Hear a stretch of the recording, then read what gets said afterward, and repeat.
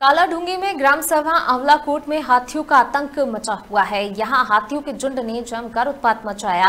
आपको बता दें कि रामनगर वन प्रभाग देरौची रेंज अंतर्गत ग्राम सभा आंवलाकोट में देर रात हथियारों के झुंड ने किसानों की टमाटर और धान की खड़ी फ़सल को रौन दिया। वहीं ग्रामीणों का कहना है कि गाँव में आए दिन हाथियों के आतंक से नुकसान हो रहा है। पिछले कई दिनों से कालाडूँगी तहसील के अंतर्गत अधिकतर ग्रामीण क्षेत्र में इन जंगली जानवरों के नुकसान से परेशानियों का सामना कर रहे हैं।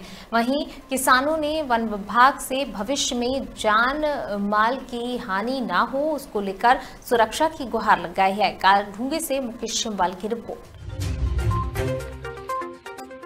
कोटाबाग ब्लॉक के अंतर्गत आमलाकोट ग्राम सभा में कल रात्रि में हाथियों द्वारा काफ़ी उत्पाद मचाया गया काफ़ी नुकसान किया गया है।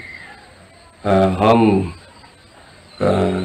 वन विभाग से अनुरोध करते हैं कि कृपया रात्रि गश्त करें जिससे कि जान माल का और फ़सल का नुकसान